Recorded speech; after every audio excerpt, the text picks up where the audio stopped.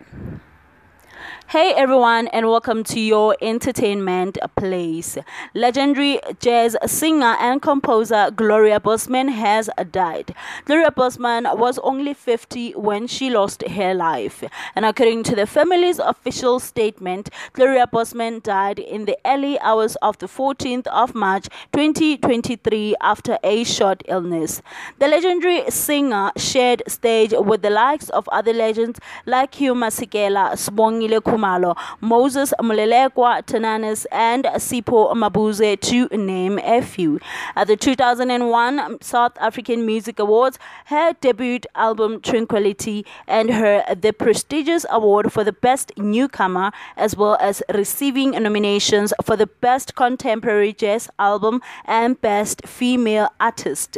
Her follow up album, The Many Faces of Gloria Bosman, featured collaborations with the finest musicians in the country, and uh, thus and her nominations for both South African Best rather South African Artist, Most Promising Female Artist at the Kora Award of 2001 and South African Music Award nomination for a Best Jazz Vocal Album.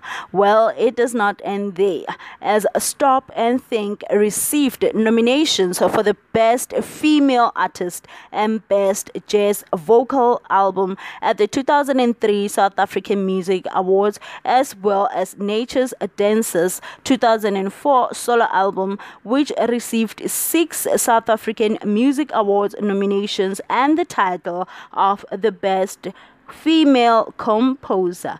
Well, it is said, by their fruits you shall see them. And Gloria Bosman was indeed a legend. May she rest in peace and may her family, her children, her friends, and all those close to her find comfort. For more trending news, please do like, subscribe, share, comment down below, and hit that notification bell so that you can be notified on every video upload glowed.